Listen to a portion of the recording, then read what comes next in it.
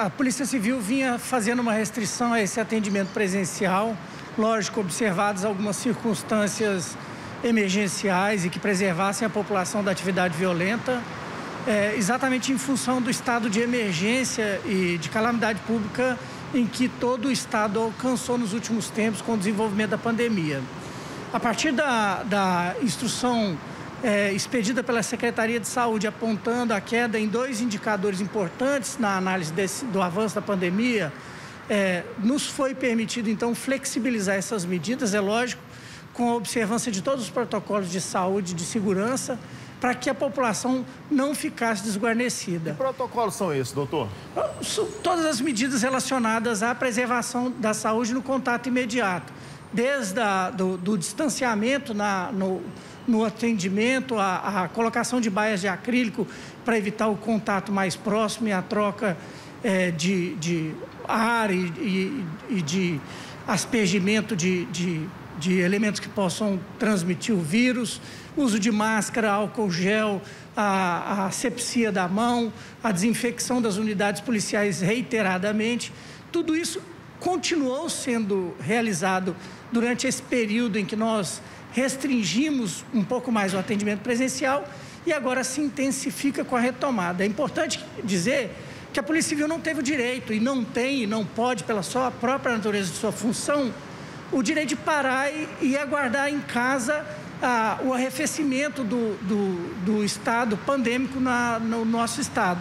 Nós nos mantivemos na linha de frente, modificamos a forma de atendimento, passamos a desenvolver um atendimento através de mídias, de instrumentos de mídias, mas continuamos na linha de frente. As investigações prosseguiram e, e os contatos que se mostraram imprescindíveis foram ocorrendo. Tanto, tanto, que algumas operações aconteceram. Só que agora a gente começa a retomar o ritmo normal de atendimento para não desguarnecer a população da segurança necessária. E essa volta tem a ver com a vacinação dos policiais? E muitos, a maioria, acredito, só tomou a primeira dose até agora, né? Tem, tem a ver também com a vacinação, mas muito pouco em relação à vacinação. É a queda dos indicadores que nos tem permitido e a necessidade de mantermos um estado de segurança para a população. Essencialmente, esse é o fator que faz com que a gente fique nessa medida em tempo integral, percebendo o momento em que a gente pode voltar à linha de frente, porque a gente sabe que o desguarnecimento da Polícia Civil, das, das unidades policiais de uma forma geral, a população implica um outro tipo de violência.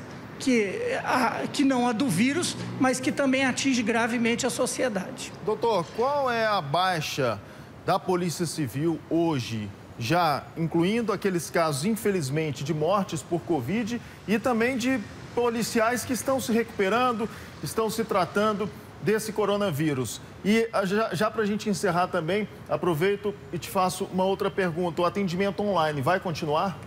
O atendimento online não sai de cena, ele vem se intensificando em diversas outras medidas que vêm sendo amadurecidas pela própria circunstância que fomos, nós fomos levados a, a, a empreender e, e, e a ideia é intensificá-lo mais ainda. Algumas audiências, algumas oitivas têm sido feitas de forma online, de forma remota.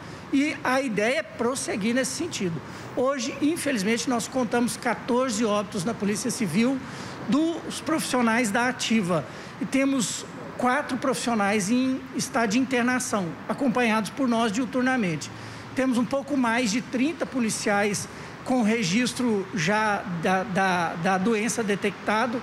É, isso é uma queda significativa nos índices que colhíamos há pouco mais de um mês. A gente conseguiu, então, com essa diminuição, voltar o nosso efetivo à atividade e agora a gente vai conseguir atender a população mais proximamente. É lógico, e sempre dizendo, todas as medidas possíveis para que o distanciamento seja mantido serão tomadas.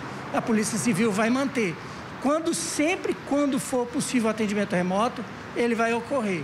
Somente em casos imprescindíveis que esse atendimento presencial ele vai acontecer, porque nós não podemos sempre vamos nos preocupar com a segurança da população, não podemos nos descurar disso.